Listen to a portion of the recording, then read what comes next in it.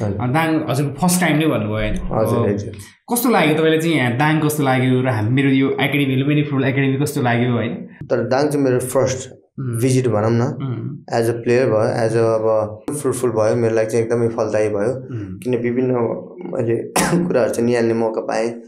Junior भाइहरूसँग academy भाइहरूसँग चाहिँ प्रत्यक्ष एउटा इन्टरेक्सन प्रोग्राम गर्ने पाएँ मौका पाएँ होइन। त्यो कुरामा चाहिँ म नजिकबाट भिजेर आफूले आफूलाई उहाँहरू समक्ष प्रस्तुत हुन पाउँदा चाहिँ एकदमै खुसी र गर्व पनि फिल भएको छ मलाई होइन? र ओभरअल भन्नुपर्दाखेरि चाहिँ यहाँ आएर मैले जुन एउटा गेम तपाईँहरू लुम्बिनी फुटबल एकाडेमीबाट एउटा गेम पनि खेल्न मौका पाएँ।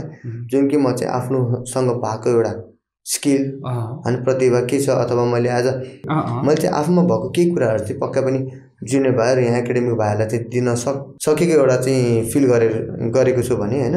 मेरो लागि चाहिँ यो दाङ भिजिट एकदमै फलदायी भयो भनौँ न।